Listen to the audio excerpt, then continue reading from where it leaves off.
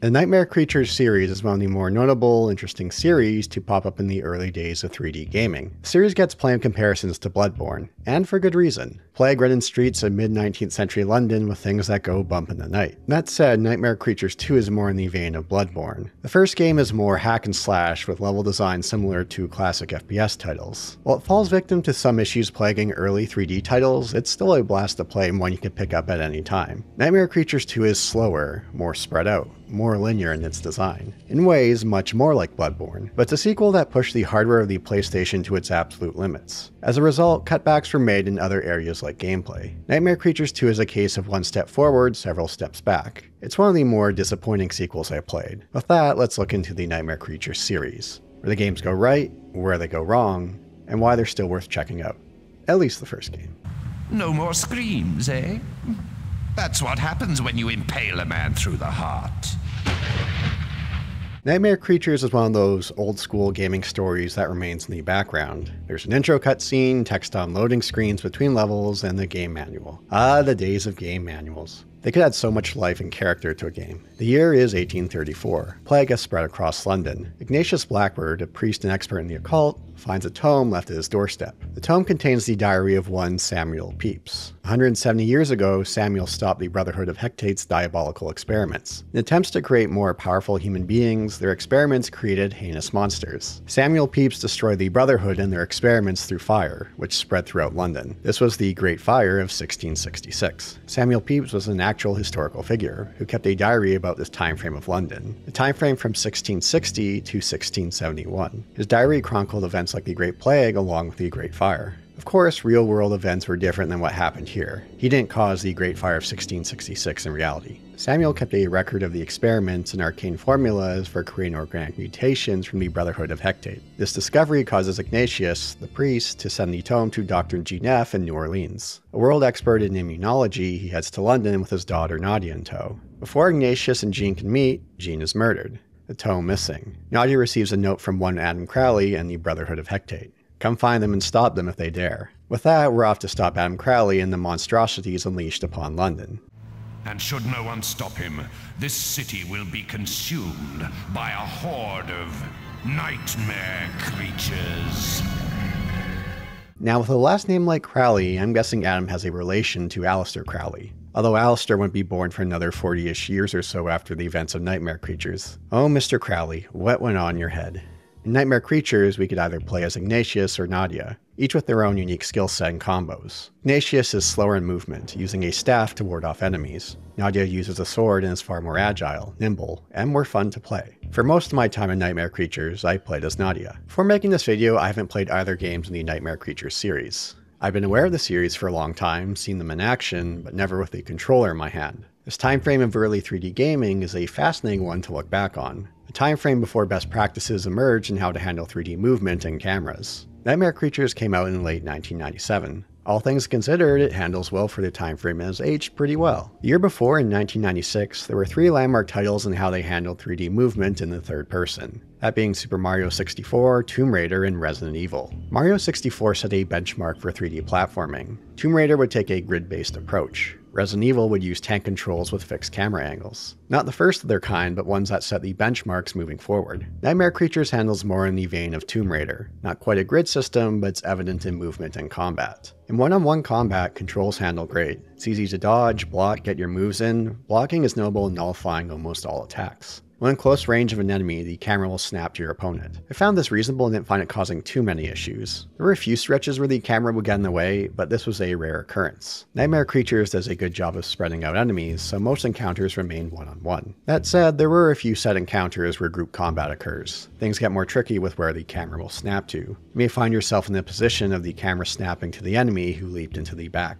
Again, these encounters are rare, so it's nothing too egregious, but worth noting. It's the platforming where Nightmare Creature stumbles in its controls. Our characters aren't adept at swimming, resulting in instant death. Now, there are some decent quality of life features. For example, while attacking, you won't fall off a platform as a result of forward movement. That's some great foresight on the developer's part. That said, you can get knocked off by enemy attacks. Still, this was a rare occurrence. There weren't many enemy encounters located near water. To make a more direct comparison to a Souls-like, I'd hold my breath while making a precise jump. There's one early sewer level that's egregious with it. You have to be precise or else you'll lose a life. One great example is a section of trying to get to these docks surrounded by giant octopi. It's easy for them to knock you off a platform. Your jumps need to be precise between platforms. There are a few items you could grab on one of them. Grabbing items can be awkward in Nightmare Creatures. Some items you pick up right off the ground, those drop by enemies. Then you have items that you find in boxes or elsewhere. You need to face them and hit a button to grab them, which can be a bit iffy at times to have your position right. But all things considered, the game handles well for an early 3D entry. When people talk about games not aging well, I find many from this time frame of early 3D gaming as suitable candidates, where movement in the third dimension and camera systems were still unexplored territory. Yes, there are some issues with how Nightmare Creatures handles, but it's not a huge detriment. Hats off to the developers not falling victim to what was so common in those days with 3D gaming. Combat handles well for the most part. The left and right shoulder buttons allow you to dodge left or right. Dodging feels satisfying with the ground it covers. There are several combos for each character in Nightmare Creatures. The manual lists a few, but further experimentation allows you to discover others. I settled on a good 4 to 5 combos for Nadia to use at any given time. Some to break enemy stances, some to slice off limbs. The Dismemberment system is pretty impressive for its time. For most enemies, a combo that takes off limbs will finish a fight. Others will continue to fight on, limbs missing. One enemy that can be fun to fight is the Dockers. Depending on your finishing blows, they'll stand until you let them fall to the ground. You can continue to rain down blows and take away body parts for some laughs.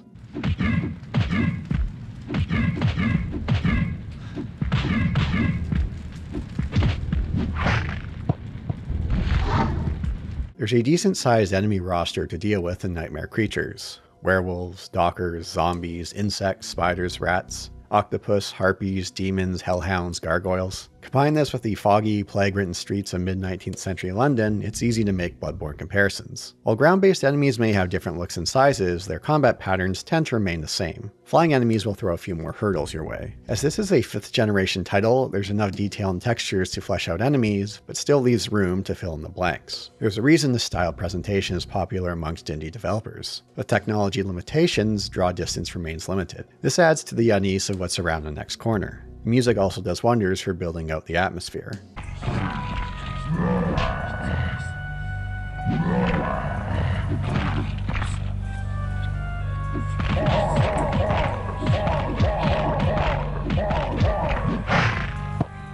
Now there is a caveat with the combo system. Inputting your combo can be a bit iffy. In the heat of the moment during combat, it's easy to rush your inputs and not pull off the combo you want. Sure, you can button mash your way through the game, but getting those precise combos to take off limbs makes a world of difference. One combo with a slash can be enough to kill an enemy. Otherwise, you might be button mashing for some time. There's one combo of Nadia's that's great for slicing up enemies. On a PS1 controller, it's XX then back and square at the same time. Two kicks followed by a spinning slash. Thing is, more often than not, I would get the 3 kick combo instead. There's another great combo breaking an enemy's stance with a heavy kick, ending with an overhead slash. But again, this overhead slash came out less than I wished. This is by far the largest issue with the controls of Nightmare Creatures. Trying out the N64 version, it felt a bit better, but there were still issues with it. For the PC version, when I could get to run, I had a similar issue. In Nightmare Creatures, there are several power-ups at our disposal. One-time usage to deal with enemies, like guns. One can be a single shot, another will do a 360 spin while firing. You have proximity mines, firebombs, and dynamite. You could use chaos skulls to get enemies to fight one another.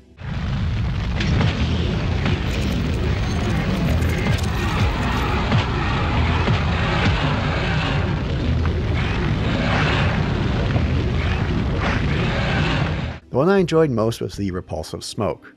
Toss one down to keep monsters at bay. It's as if they bottled the smell of Smash Brothers players.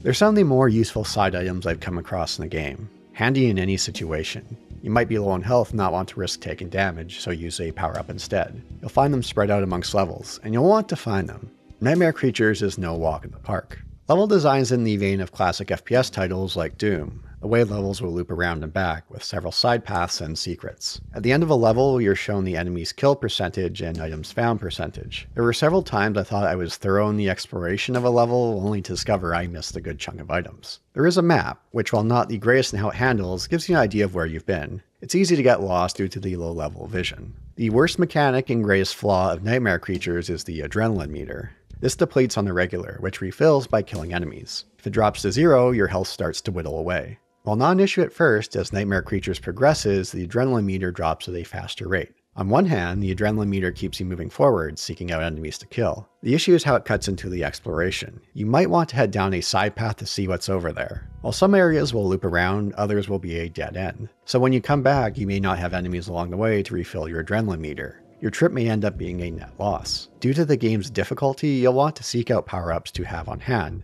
along with finding weapon upgrades, health, and lives. The adrenaline system is a total clash for the game. Take this with a grain of salt, but someone claimed to have worked on Nightmare Creatures gave its reasoning. This is one of the top comments on Josh Strife's video on Nightmare Creatures. While I can't confirm it's a legitimate, but does make sense in its reasoning. It was a last minute addition to the game, as in a few days before the game would go gold. Before the adrenaline meter, you could run past all your enemies and finish the game in very little time. The publisher noticed this and wanted a quick solution. The adrenaline system is the result. I'm sure if they had more time, they would have done a different solution like having to clear out a certain percentage of enemies before you could complete a level, or clearing out enemies to open a path forward. Or, you know, they didn't need to bother at all. Bring up Doom again, you can run past most enemies if you want to, save for a few instances. You could say that for a lot of games actually. At least in the N64 version released a year later, you could disable the adrenaline meter in the options. At various points, we'll see Adam Crowley, just out of reach, escaping. At the end of levels, we'll also get some short blurbs from Mr. Crowley. These do a lot to add to his character and remind us of what's at stake.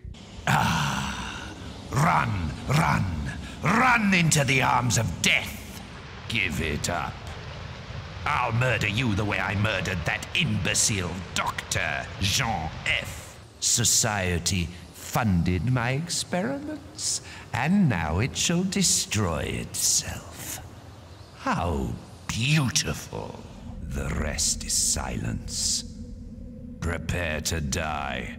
Before we reach Adam, we'll have a few bosses throughout. They can be frustrating, trial and error affairs. They wouldn't feel out of place in a Crash Bandicoot game with their structure. One example is the snow creature in a church. You have to chuck dynamite at the explosive barrels next to him. He'll chuck giant snowballs at us. It's easy to get caught in the dreaded stun lock with them.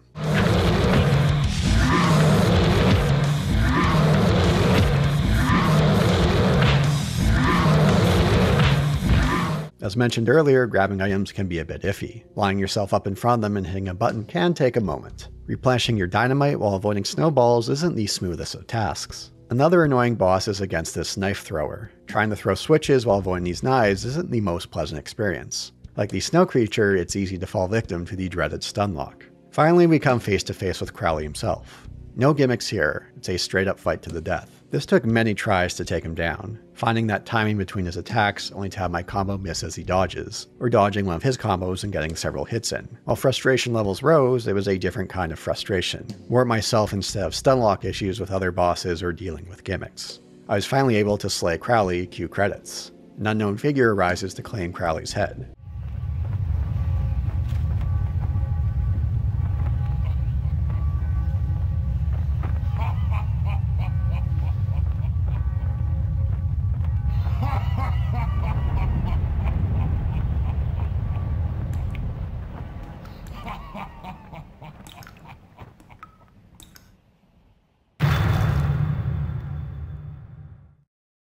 Nightmare Creatures is not a long game, but very much a replayable one, whether switching characters, seeing how fast you can complete a level, or how many monsters you killed or items found. As well, you can unlock a mode to play as the monsters. More of a novelty. I would get my ass handed to me. Still, it's a fun little unlockable to give these monsters a spin.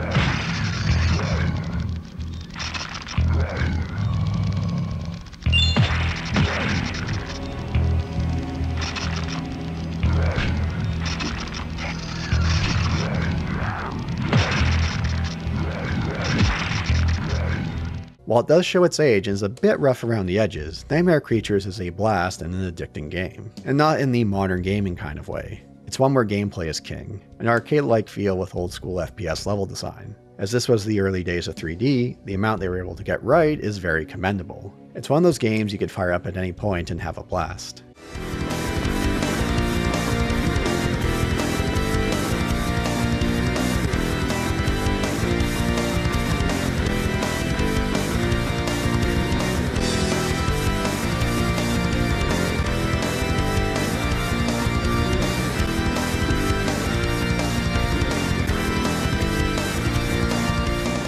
Nightmare Creatures 2 would release two and a half years later in 2000. You would think they would continue in the same vein as the original, with some tweaks along the way. Well, they took the game in a much different direction, resulting in one of the more disappointing sequels I've played. I had stayed too long in my cell, my lair, tormented by inner demons. But I could lament no longer. She needed me. My nightmare was just about to begin. While it does have its merits, Nightmare Creatures 2 is a sequel that misses so much of what made the original special. It's not Devil May Cry 2 or Deus Ex Invisible War levels of disappointing, but it is up there. For every step forward, Nightmare Creatures 2 takes several steps back. Several cases of fixing what wasn't broken, leading to further issues. Like the first game, Nightmare Creatures 2 has a similar minimal story. You get short blurbs during loading screens between levels, cutscenes, and the game manual. The year is 1934, hundred years after the first Nightmare Creatures. Adam Crowley returns, having spent the last hundred years regaining his strength. His goal is to summon an ancestral being of great power to merge with. After the event of the first nightmare creatures, Ignatius and Nadia founded the Circle, a secret organization to keep evils such as Adam at bay. In a surprise attack, Crowley massacres the Circle and takes prisoner one of its members, Herbert Wallace, our main character and only playable character. Crowley tortures and experiments on Herbert for years. One day he's able to escape and heads out to stop Crowley. This is where the game begins proper. One thing that's noticeable right away is the upgrade in the presentation of Nightmare Creatures 2. The frame rate is higher, the graphic fidelity is a large jump, the draw distance is greater. This is a mid 2000s release. This is the tail end of the first PlayStation and the dawn of the PlayStation 2. Nightmare Creatures 2 pushes the PlayStation to its limits. It's incredible the difference a couple years can make in pushing consoles to their limits back in the day. There was no N64 version of Nightmare Creatures 2. The reason given was due to low sales, but I also wonder if the system simply wouldn't be able to handle it, or if they tried would require major cutbacks due to storage limitations. Now, of course, there is a trade off for this upgrade in fidelity, one that turns Nightmare Creatures 2 into a disappointing sequel. One is the streamlining of the combat system. You have all but two combos in Nightmare Creatures 2 Square XX or X Square Square. Kicks are separate and not part of any combos. Now, more combos doesn't make a combat system better by default. In the original Nightmare Creatures, of all possible options, I used around 4 to 5 for each character, but to strip down this much is overkill. Now, like the YouTube comment about the adrenaline system in the first Nightmare Creatures, I did come across a possible explanation. There was a point where I got stuck in Nightmare Creatures 2 and looked at a playthrough on YouTube. One of the top comments claimed to have worked on the game. While I can't verify the validity, they did give a lot of information and details that seem plausible not only for Nightmare Creatures 2, but other projects the studio worked on. According to this comment, they cut back on combos due to memory limitation. They had to remove a third combo to have enough free memory. They pushed the system to its absolute limits. It makes me curious what Nightmare Creatures 2 would have been like had they built it around the 6th generation instead of the tail end of the 5th. Now that said, Nightmare Creatures 2 did release on the Dreamcast. Thing is, it's a basic upscale port with a higher frame rate. Nightmare Creatures 2 is one of the many, many PS1 to Dreamcast ports. There are around 150 of them. Continuing with the combat system. I didn't have any issues with combo inputs like the original, but there was a frustrating change to combo output. In the first Nightmare Creatures, you could input a combo and it would play out regardless if you hit your enemy. This could be handy in many situations. Your first hit may miss, but the slash won't, dismembering your enemy. Nightmare Creatures 2, if you don't get that first hit, the combo won't continue. Enemies now have health bars, are more spread out, and take longer to kill. Get enemy health down far enough and you can perform a fatality. Each enemy type will have a unique fatality animation. The fatalities are okay, but at this point I've almost killed them. A couple more hits tends to be enough. Some of these fatalities can take a while to play out, which gets annoying over time.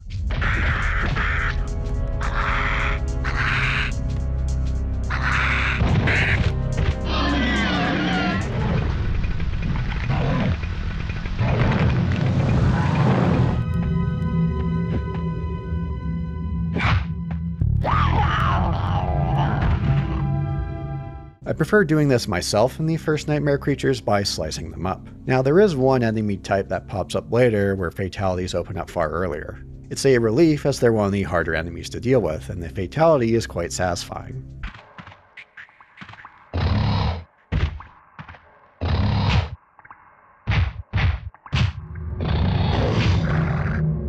There are other quirks to the combat system that you have to get used to, like how enemies can interrupt your combos.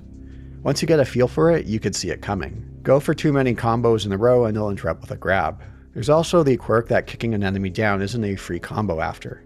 Enemies love to grab you after you try combo after kicking them down. It's very frustrating to be caught in a grab.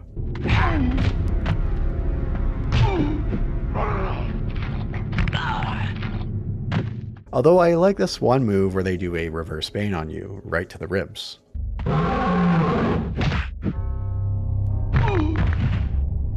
Several enemies will do a roar or an idle animation, at which point you could charge in with a combo. Beyond the Docker returning, most enemies in Nightmare Creatures 2 are new. They come in different shapes and sizes, but like the original, most play on the same way in dealing with them. Dodging is far less helpful here. In the original Nightmare creatures, your strafe left or right covered a great distance. Here it's very small. Most attempts at a dodge resulted in damage. Better to dodge back or block. Power-ups return, and they're as satisfying as they were in the original. There are a couple of notable new power-ups I was always happy to stumble over. There are a few variations of guns available. One results in the enemy exploding into pieces.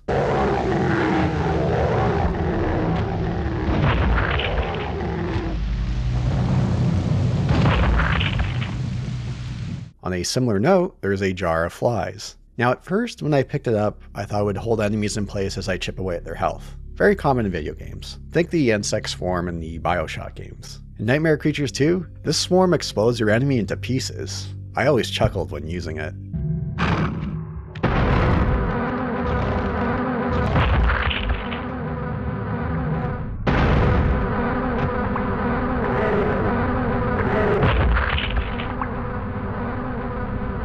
And you'll want to be using items because some of these encounters can take a long time. In the original, if you're able to pull off Dismemberment, you can finish a fight in the flash and move on to the next one. In Nightmare Creatures 2, you have to whittle down that health bar. It would get to the point where I started to roll my eyes as levels would go on with further combat encounters. What was enjoyable in the first game becomes a chore here. While controls are tighter in Nightmare Creatures 2, there is a change that causes issues. If you want to leave a combat encounter, you need to hold down a button to return to explore mode. Thing is, many situations require combat to advance, like opening the next door. This change also results in frustrations of picking up items during combat. While Nightmare Creatures 2 doesn't have the awkward pick up item button action, combat makes it more difficult to pick up items. One time I wanted to grab this one power up during combat, but for whatever reason, Wallace wouldn't. I had to hold the shoulder button to enable exploration mode to pick it up. This took far longer than needed and resulted in unnecessary damage. Health is used on pickup instead of being an item to use. Another choice I disagreed with. In a game like this, giving you the option of when to heal is the better one. Along with the change in the combat system, Nightmare Creatures 2 takes a different approach to level design. Levels are fewer, but far longer. Some could take a good 30 to 40 minutes. There are short loading screens throughout, or enemy cutscenes to mask loading screens. Again, this shows how far they push the PS1.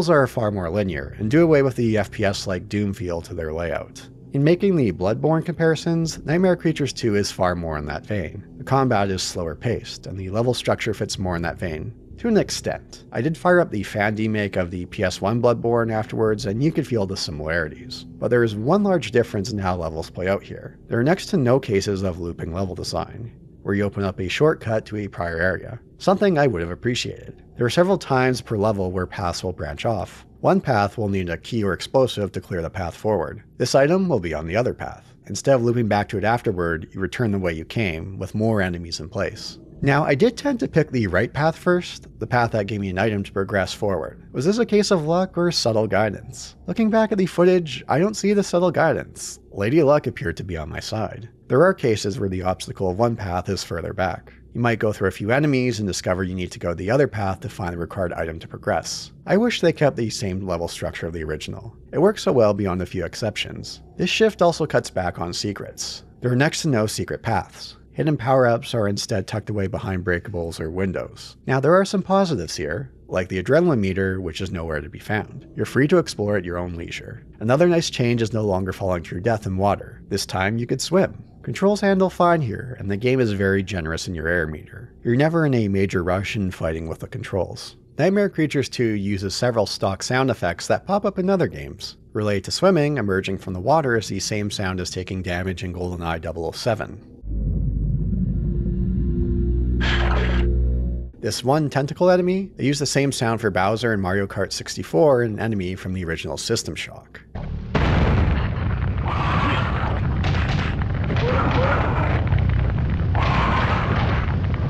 One enemy uses the same sound as an enemy from Doom. And opening certain doors is the same sound in Vampire Bloodlines.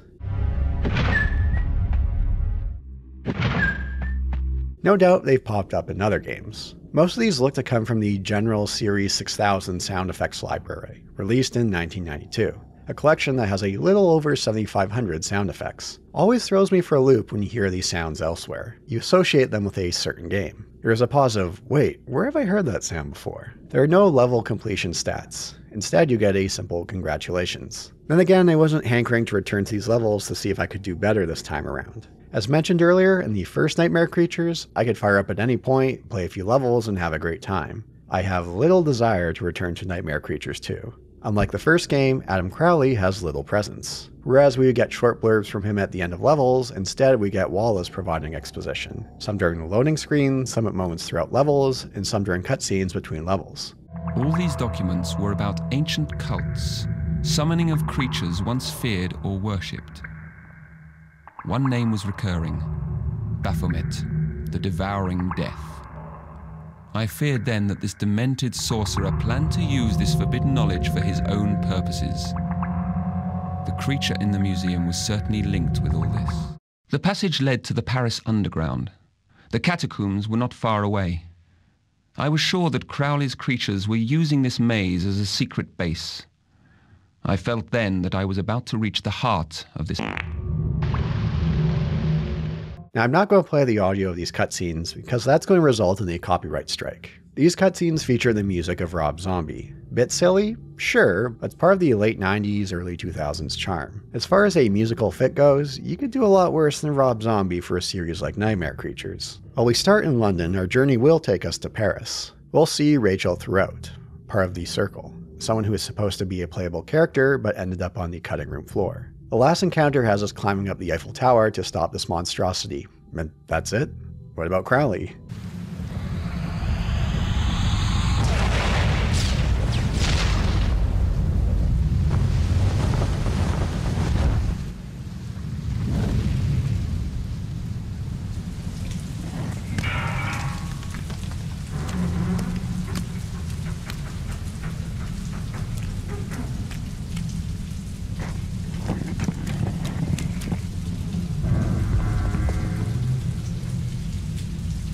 Rachel was safe, the horror defeated.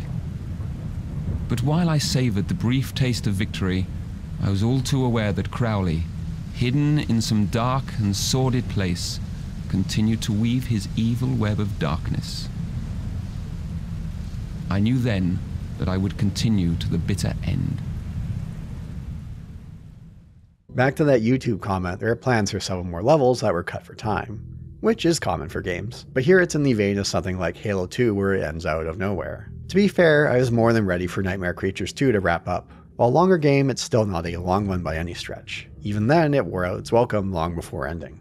This leads to Nightmare Creatures 2 being one of the more disappointing sequels I've played. Title caught in the generation purgatory where it pushed its hardware to its absolute limits. Had they built it around the sixth generation of hardware, the Dreamcast, the Xbox, the GameCube, the PlayStation 2, I would have loved to see what they would have done. There's still something quite enjoyable here, somewhat of a Bloodborne prototype in its feel, a Bloodborne before Bloodborne, but something that could have been so much more. And we never got to experience a sixth generation Nightmare Creatures. The third title was in development, but the studio, Kalisto Entertainment, went bankrupt in 2002. Ubisoft was set to publish the game, but instead took over development after Kalisto closed. The game was going to be set in 19th century Prague. They released short blurbs of footage and art, but in the end, Nightmare Creatures 3 never saw the light of day. Now, Ubisoft taking over development seems like a bit of an iffy thing. But you gotta remember, this was the early 2000s. The Ubisoft that delivered the Splinter Cell games, the Prince of Persia games, Beyond Good and Evil, the Rayman games. Too bad we never got to see what it was like. Albino Moose Games announced a remake in 2017, but confirmed in 2020 that it was shelved, leaving us with a great first title that's a bit rough around the edges, and a sequel that's a bummer as a follow up. Still, it's an interesting series that feels like Bloodborne before Bloodborne existed, even with the great differences and approaches to design. They come from a time frame when gameplay was king, where the story remained in the background, well before a time of best practices emerging in how to develop 3D games. There were some growing pains, but there's much to commend with how much the Nightmare Creatures series got right as an early 3D title. As mentioned earlier before this video, I was familiar with the series but never played them. I'm happy to note how well the series has aged. A series that could be a nice template for budding indie developers out there. Thanks for watching. If you haven't done so already, like, subscribe, leave a comment. If you want to support the channel further, consider becoming a patron member or YouTube member. You'll get access to videos earlier, the forthcoming credits, and what I've been working on.